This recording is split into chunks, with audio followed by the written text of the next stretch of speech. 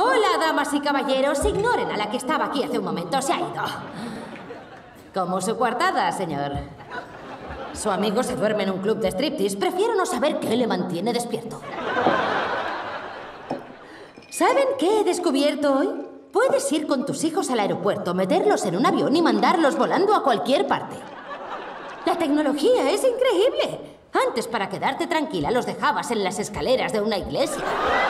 Y lo peligroso no es mandar a tus hijos con un montón de extraños en un vehículo donde mandan las azafatas. No. Lo realmente peligroso es que en cuanto se han ido tienes la oportunidad de recordar cómo era la vida sin ellos. ¿Verdad? Todo vuelve de golpe. Los suelos limpios, el apartamento en calma, tu maldita cintura, el sexo. Mm. El sexo en el que logras llegar hasta el final. O al menos lo logra tu marido. Dale, Sexo en cualquier habitación, sobre cualquier electrodoméstico. Bueno, casi, no lo recomiendo sobre la batidora.